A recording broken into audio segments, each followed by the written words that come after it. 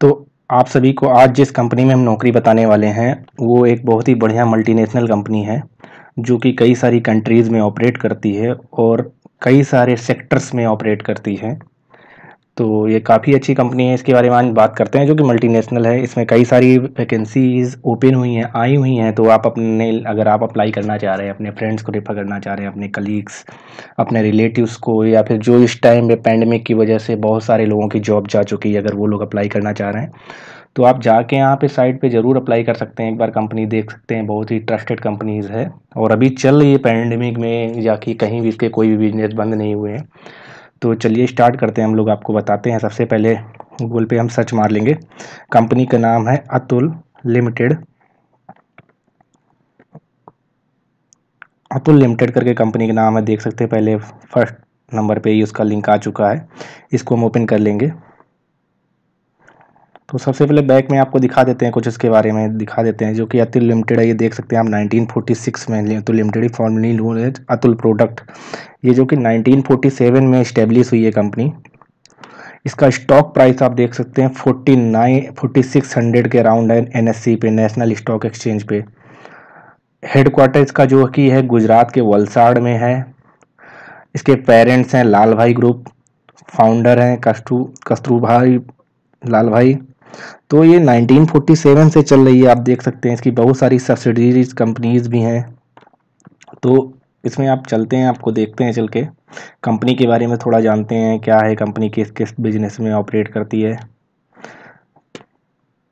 तो इसके बारे में सबसे पहले देखते हैं अबाउट में देख लेते हैं तो क्या बोलते हैं तुलिजन improvement driven integrated chemical company है, जो कि 4000 कस्टमर के बीच में 30 इंडस्ट्रीज़ अक्रॉस द वर्ल्ड बहुत सारे कंट्रीज़ में तीस इंडस्ट्रीज़ की हैं, जो कि कंपनी की सब्सिडीज़ हैं। मतलब बहुत सारी कंपनीज़ को उसने या तो टेक ओवर किया है, ख़रीदा है, या उनमें इन्वेस्ट कर रखा है, या वहाँ पार्टनरशिप में है, या इनकी खुद की कंपनियाँ हैं, जो कि यूएसए में 1994 में इन्होंने स्टार्ट किया है यूके में 1996 में स्टार्ट किया है चाइना में 2004 में ब्राज़ील में 2012 में, और यूएई में 2015 में, और इंडिया में तो इनके कई सारे प्लांट्स हैं ही।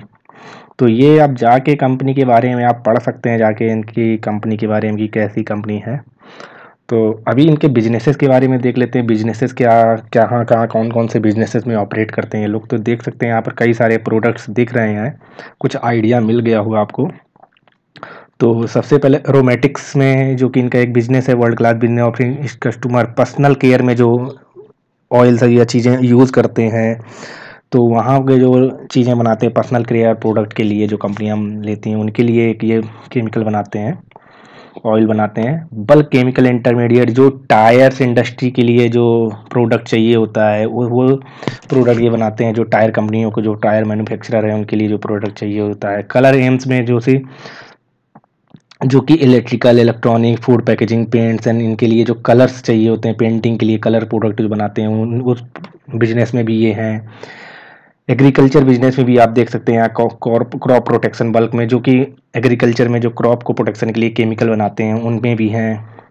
ये देख सकते हैं क्रॉप प्रोटेक्शन के केमिकल में भी ये लोग हैं। सॉल्यूशन जो उनके लिए बनाते हैं लिक्विड्स या जो कंपनियों को प्रोवाइड करते हैं रॉ मटेरियल वो भी हैं।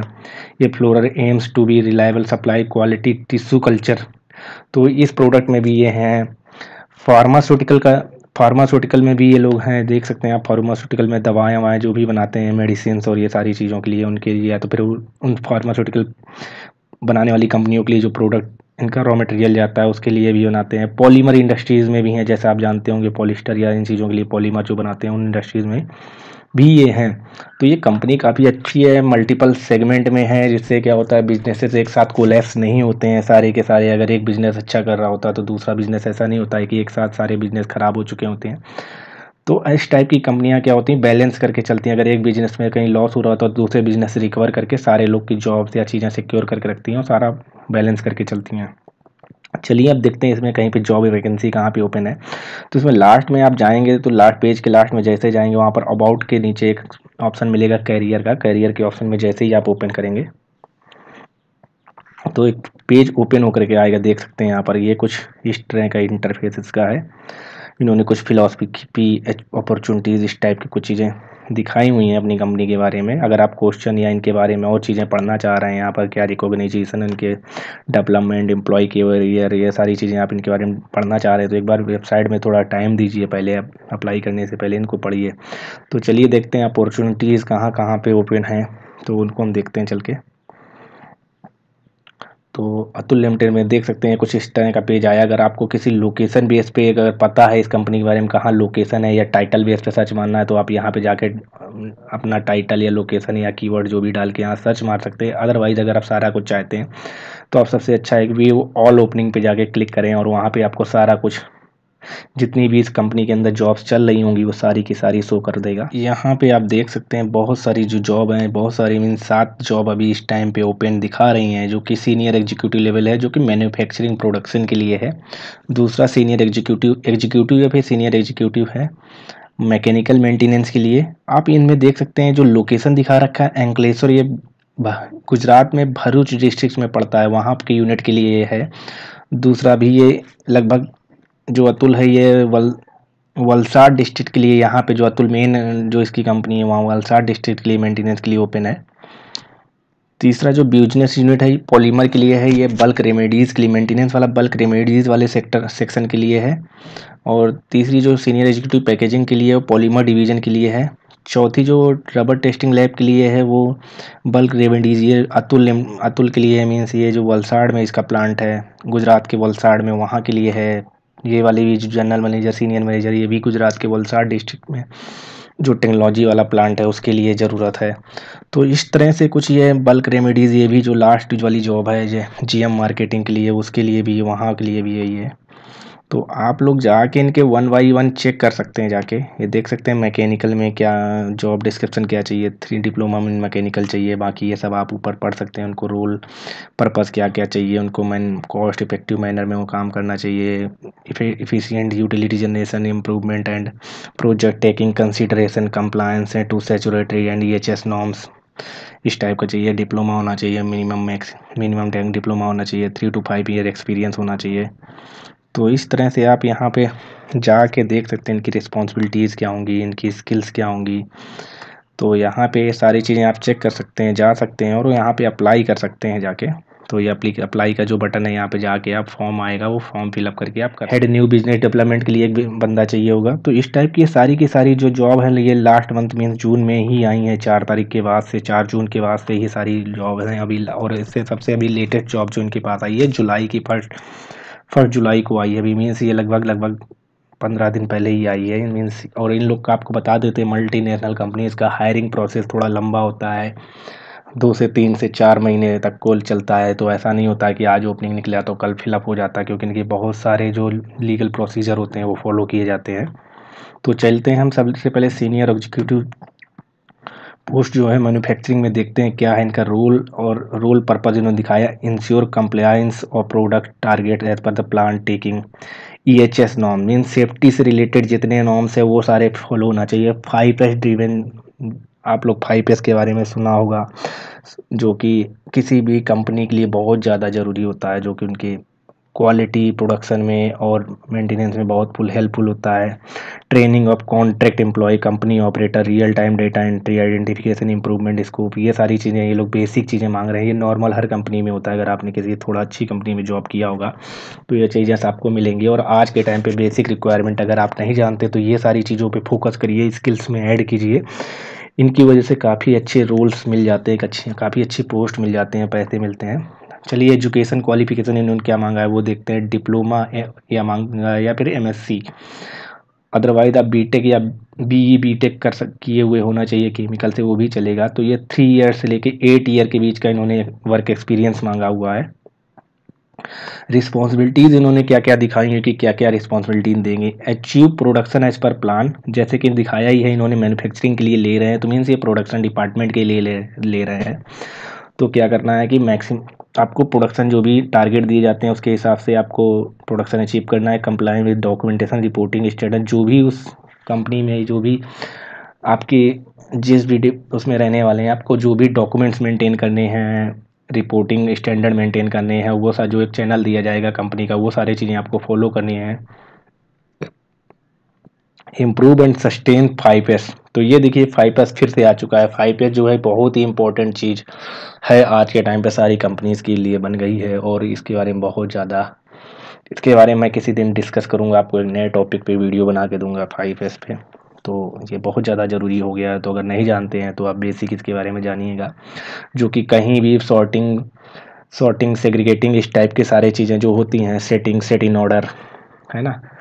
तो ये सारी चीज़ें तो कोई भी मटेरियल आपस में मिले पड़े हैं और दो मटेरियल मिले हुए हैं, उनको यूज़ नहीं कर सकते तो उनको सॉर्ट करके अलग अलग करके रखना चाहिए। वो किसी भी डिपार्टमेंट के लिए हो सकता है, वो बाद में बताते हैं। अभी यहाँ पर लंबा हो जाएगा video achieve right first time quality as per specification जो भी क्वालिटीज़ के पैरामीटर हैं, उनके बेस पे प्रोडक्ट को आपको प्रोडक्ट प्रोड्यूस करना है।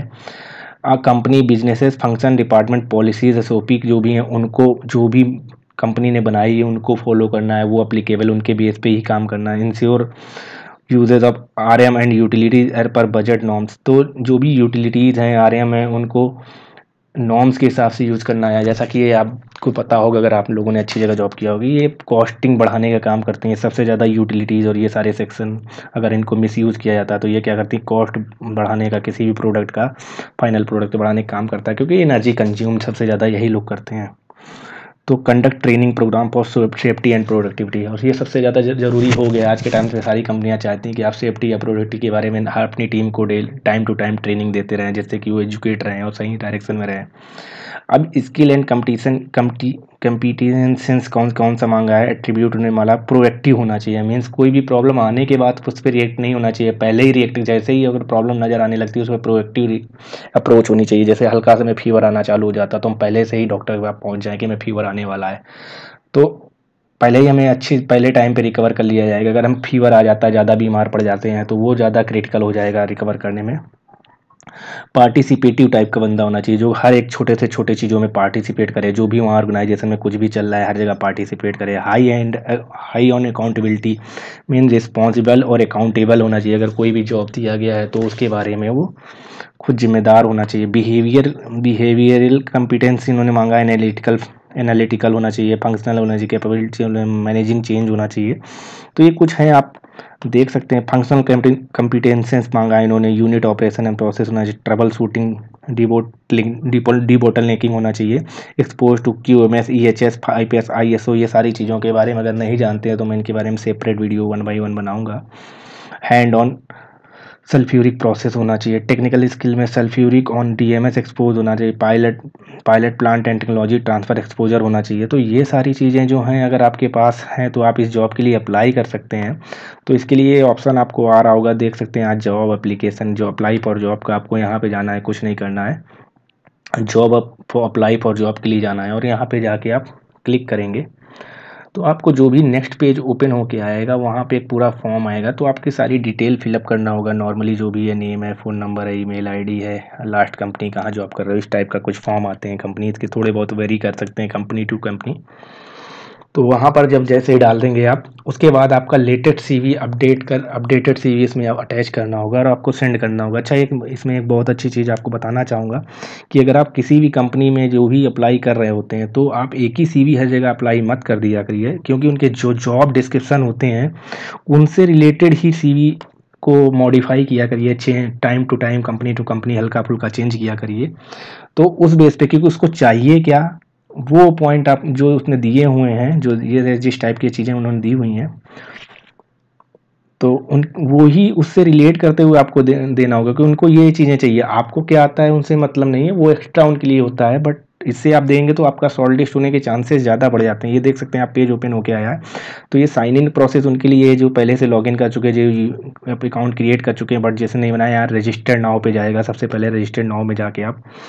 सबसे पहले अपनी डिटेल भर सकते हैं। ये देख सकते हैं, पेज आ चुका है रजिस्टर नाउ का। यहाँ देख सकते हैं user name password confirm password first name last name email address phone number country address इस टाइप की सारी चीज़ें डालेंगे सिटी पिन कोड एग्री करेंगे तो आपका अकाउंट क्रिएट हो जाएगा। उसके बाद आप अपना सी या डिटेल जो भी है, वो फिलअप करके आप इस पर जैसे ही सेंड करेंगे कंपनी के पास पहुँच जाएगा और उसके बेस पे वो शॉर्ट लिस्ट करेंगे आपके, अपने जॉब डिस्क्रिप्शन के हिसाब से जो उन्होंने जॉब डिस्क्रिप्शन डिपार्टमेंट के हिसाब से चाहिए होगा। अगर आपका सीवी उन चीज़ों में फिट बैठ रहा है तो आपको इंटरव्यू के लिए कॉल किया जाएगा।